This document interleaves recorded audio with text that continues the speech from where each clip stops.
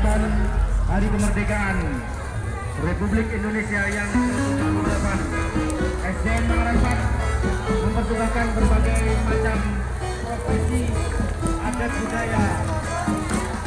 Bisa kita saksikan bersama menggunakan sistem Insta Audio dan sistem juga pimpinan Bapak Ibu yang